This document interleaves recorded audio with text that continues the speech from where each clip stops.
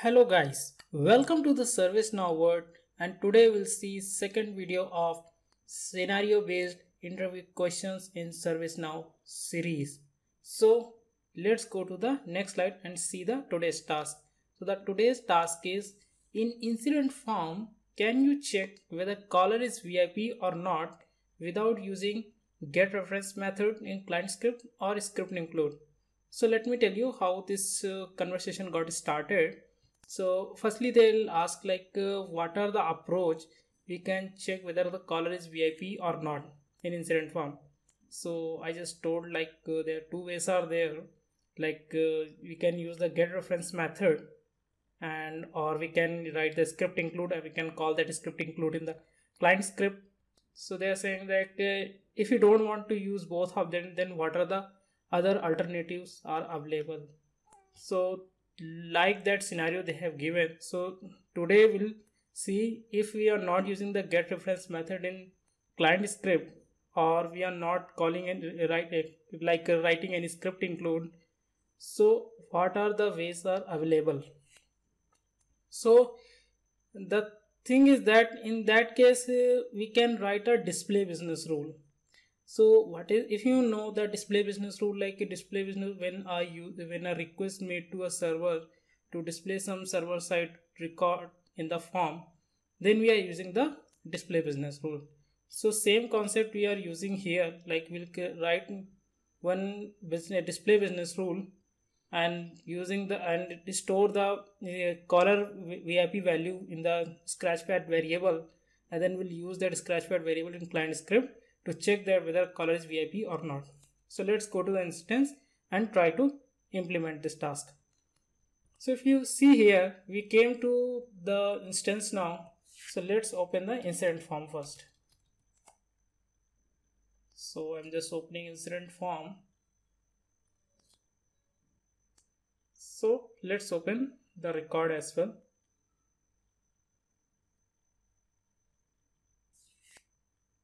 so now the record is open right? So i want to like uh, i want to like uh, say i want to show some message or alert message if the caller is vip so how we'll do that? So let's create one display business rule so i'll just open one duplicate tab here. And there right click on configure then go to the business rule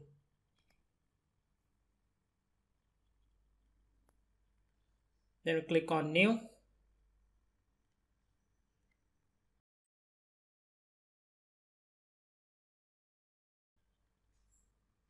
So now here we'll give the name of our business rule. So like uh, what name we can give? So we'll give some name like uh, name we can give. Check VIP caller. We'll check the advanced. And here we'll select display. And we'll keep the order as well. We for the time being we are not putting any filter condition. Let's go to the advanced.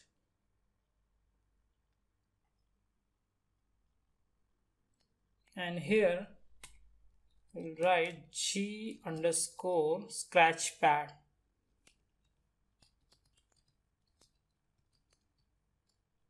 scratchpad and dot vip so we'll create one. If you know like scratch scratchpad variable we are using for storing uh, the data from the server side. So it's work like a like a temporary storage you can say.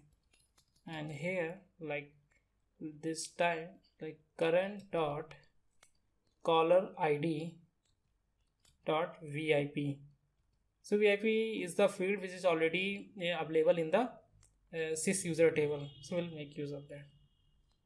And let's save it. So once we store the like a vip value in our scratchpad variable so we'll use that scratchpad variable in client script. So let me open one more duplicate tab.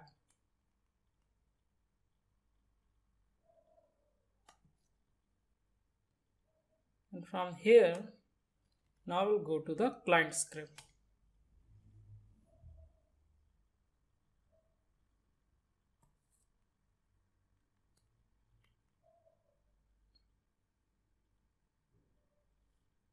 so now the new client script uh, form is open. So here like we'll put the name. Name as like check vip caller.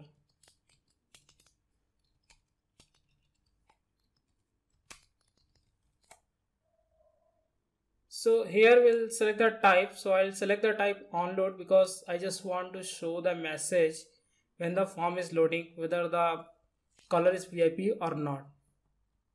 And here I'll just write our code. So code is very simple. Like we will write if g underscore scratch pad dot vip equal to equal to true then we want to alert the message like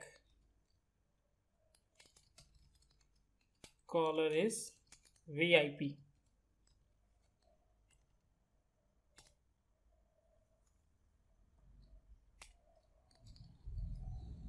Else we want to populate the message caller is not VIP.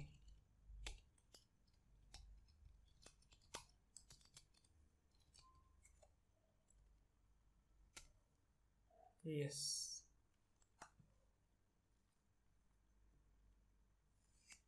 Let's save this. So now the client script and the business rule all are ready. And let's make this user as a VIP only. So I'm opening this user.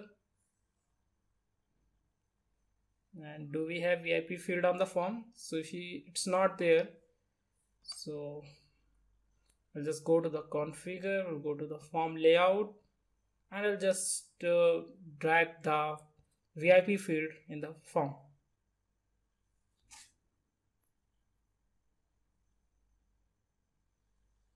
If you see this slush bucket is open so I'm search the VIP if you see this VIP field is there from a level side so we just drag this VIP field from available to selected side.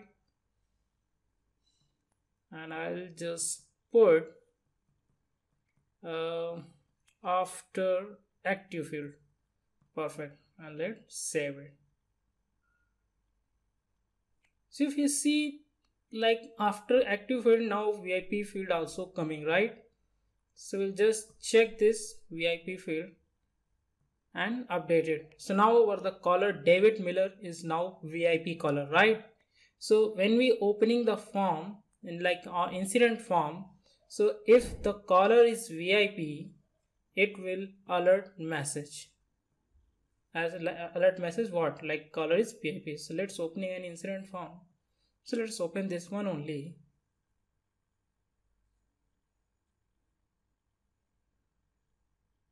See this coming caller is VIP, right? And let's check for the other where the caller is not VIP. So let's say take this one user as well. So survey user.